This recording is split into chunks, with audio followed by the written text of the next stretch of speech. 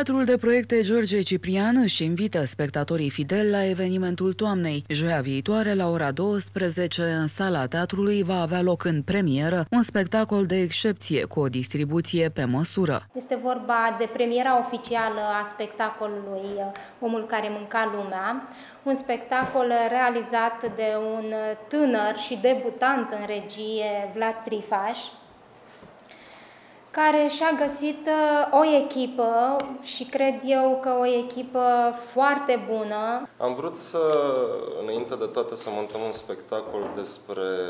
Eu mi-am dorit acest lucru foarte mult, Cosmin m-a, m-a îndrumat către, către textul ăsta, un, uh, să creăm împreună un spectacol despre, care să vorbească despre presiunea societății actuale despre, despre stresul la care este supus individul, despre dezechilibru care se creează într-o familie din cauza acestui element care macină societatea, mai exact stresul. Este cu siguranță un, uh, un spectacol care tratează dimensiunile mari și foarte mari, sper eu, ale, ale sufletului, cu actori care plonjează în adâncurile lor și sper eu că o să scoatem de acolo lucruri pe care, pe care dorim să le vedem și lucruri care le trăim.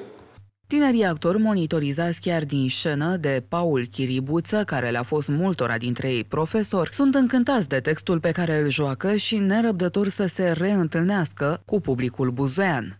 Am ales textul, adică l-am ales, am făcut contact cu el uh, acum ceva timp și mi-a plăcut uh, în mod special uh, atmosfera lui și relațiile care se uh, creează și se dezvoltă într-o familie și între prieteni în condițiile despre care vorbea și Vlad, în condițiile sociale actuale. Și cam asta m-a impresionat în primul rând dimensiunea uh, personajelor și a relațiilor care se conturează între ele. E o echipă foarte bună da, și sunt eu aici. pe lângă Octavian care este new entry și avem așa niște mici dificultăți cu el. Uh, avem o echipă foarte bună, foarte unită și m-a contat extraordinar de mult lucrul ăsta pentru mine personal. Și nu e, nu e foarte ușor în ziua de azi, vorbesc din perspectiva unui actor, hai să zicem, tânăr și neangajat. E foarte greu să găsești o echipă atât uh, de actori profesioniști, cât și de tehnicieni, uh, directorat, uh, vorbim și de întreaga instituție aici, care să reușească să te susțină în ceea ce vrei tu să faci. Și anume lucruri de calitate, care să spună ceva, care să modifice lucrurile în bine și prin care putem să evoluăm. Eu sunt invidios că joacă ăsta rolul principal, că e un text atât de bun încât uh, mi-aș fi dorit să-l fac eu, dar asta e, îl face el. Vedem, da. Când face, mai vedem cum se descurcă. Îl face el și face foarte bine. Deci veniți la teatru, pentru că o să mă vedeți pe mine. o să-l vedeți pe domnul Chiribuță împreună cu mine. Nu o să jucăm împreună, o să, avem, o să vorbim doar la telefon în paralel. Nici măcar nu o să ne adresăm unul altuia. Da, așa e, așa am avut norocul. E un lucru meritoriu că Teatrul din Buzău, într-un oraș tânăr, într-un oraș dinamic, încearcă să ofere tinerilor șanse de afirmare, uh, atât regizorale, cât și interpretative, la actori mă refer, cât și scenografice, pe toate planurile. Cred că este un lucru remarcabil și un lucru pe care uh, merită să-l uh, să-l subliniem de fiecare dată. Piesa nu trebuie explicată, analizată sau povestită, ea trebuie să fie văzută. Am învățat de la el o chestie care a rămas așa scrisă cu litere de aur undeva. Asta e o meserie practică. Mhm. Aici se face. Deci veniți la teatru să ne vedeți cum facem. Nu vă putem vorbi despre, e bine să vedeți. Și am văzut o scenă, de exemplu, ieri între uh, Alice, nu?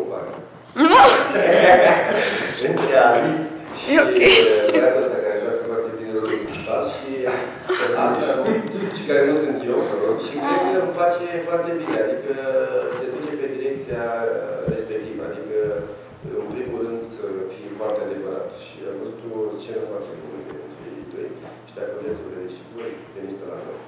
Publicul este invitat cu toată dragostea să participe la acest eveniment al toamnei oferit de Teatrul George Ciprian și să își asigure locuri în cocheta sală din clădirea Muzeului Județean. Tot aici, la Casa Teatrului, vor putea fi achiziționate și biletele pentru spectacol la prețurile deja cunoscute de spectatorii fideli. Iar ai răcit? Ce ai? E, gripă. Ai fost la doctor? Să vezi, mi s-a întâmplat ceva foarte ciudat. Nu mai schimba vorba, ai fost la doctor? Am avut o săptămână groaznică, n-ai idee. Nu mi se pare normal să răcești atât de des, dar trebuie să te duci odată la doctor, la lucru ai fost? De, mă dau cu cremă vietnameză.